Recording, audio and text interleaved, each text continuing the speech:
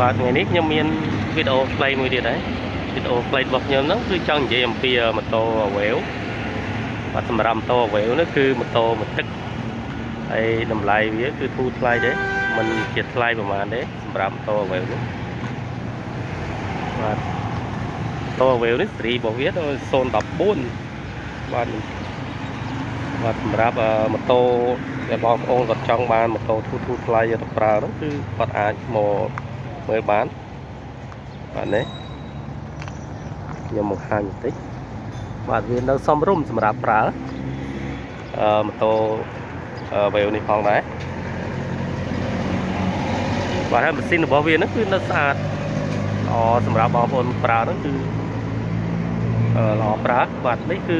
បូមមុខហើយនឹងដុំមុខរបស់វាគឺដុំសំណុំរបស់វាអត់ទាន់បានជួសជុលធ្វើទេគឺនៅសំណុំរបស់វាទាំងអស់ បាទហើយម៉ូតូនេះផងដែរគឺបានដាក់លក់តម្លៃធូរធូរថ្លៃល្មមសម្រាប់ការលក់បាទនេះអាក្រោយហ្នឹងក៏អញ្ចឹងដែរទឹកថ្នាំរបស់វាហ្នឹងគឺនៅសំណុំរបស់វាទាំងអស់អត់ទាន់បានធ្វើការជួសជុលទេបាទទឹកកន្ទះរបស់វាក៏យើងស្អាតដែរគឺថា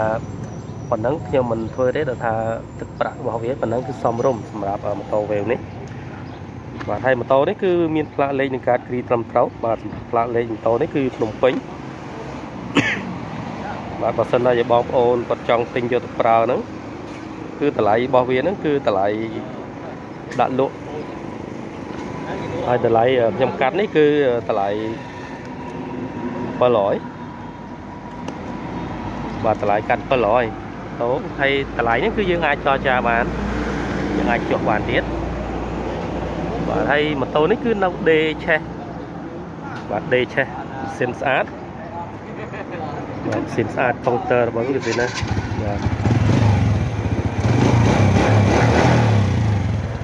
ស៊ីនវាគឺនៅដកល្អមែនទែនសម្រាប់ម៉ូតូនេះបាទបើសិនណាជាបងប្អូនចង់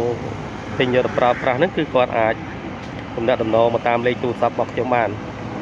បាទអរគុណនេះគឺជាវីដេអូខ្លីដែលខ្ញុំបង្ហាញ